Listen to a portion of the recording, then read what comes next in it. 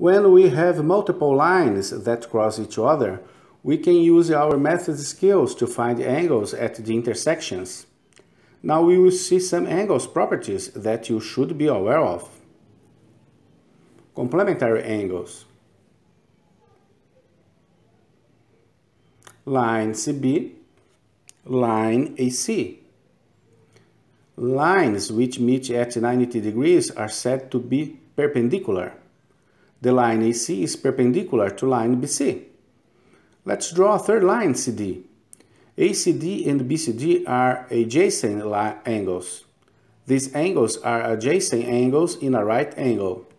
Let BCD be X and ACD be Y. The sum of these angles must be 90 degrees. Angles in a right angle add to 90 degrees. Two angles with sides which add to 90 degrees are called complementary angles. Therefore, x and y are complementary angles. Supplementary angles. Let's draw a straight angle. Straight angle is 180 degrees. Let's draw a second line BD.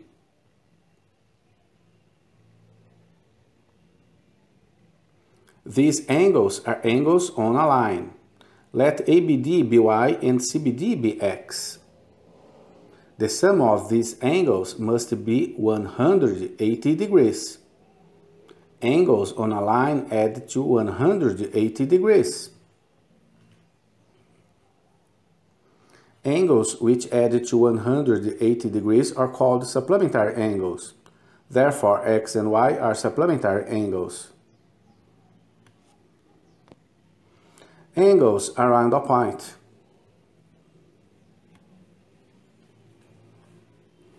Let's draw a circle. There are 360 degrees in one complete turn. Let's draw three lines now.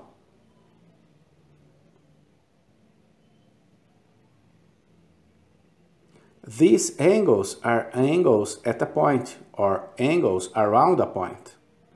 The sum of the size of the angles at a point is 360 degrees.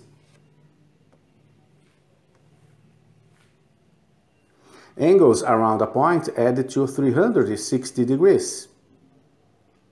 Vertically opposite angles. In the diagram, we see two concurrent lines. Two concurrent lines make up two pair of opposite angles. Pay attention in the diagram. Each pair of opposite angles is equal in size.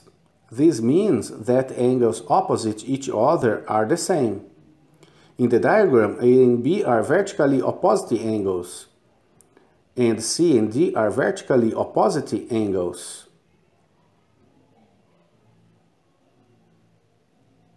A and C are supplementary angles, just like B and D.